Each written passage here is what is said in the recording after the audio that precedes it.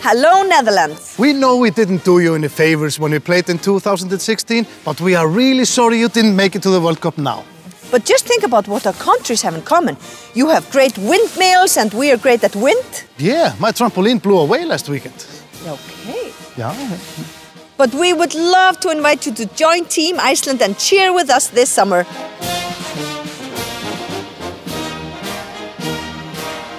Halló, seljið þið trampolín?